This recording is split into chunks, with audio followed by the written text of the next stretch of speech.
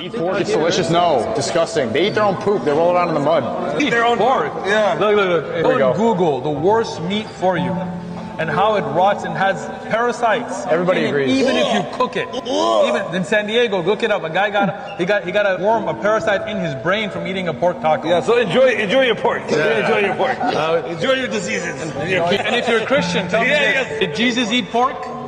Jesus didn't eat pork. Really? Jesus did not eat pork. That's a great lived- that Jesus Yeah, we're, we're, all, all the Christians out there, why don't you follow Jesus and, and eat kosher and li- live that live that same lifestyle that Jesus lived? Shit, you know they want to follow their desires, Yeah, bro. that's all that They is. don't, they don't care about See, following we Jesus. Muslims, we don't eat pork like Jesus didn't eat pork. You always beat us with the Christians. No, no, I'm just saying. I'm just saying, man. Bring it.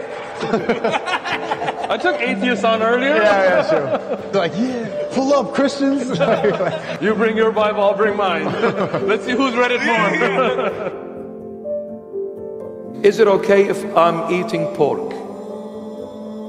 Well, if you're not a Muslim, then it's okay. if you are, go back to your prophet.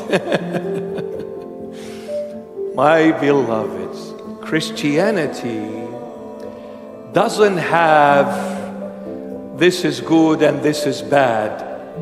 This is okay and this is not okay. Everything is good because everything came from the good God, including the pig.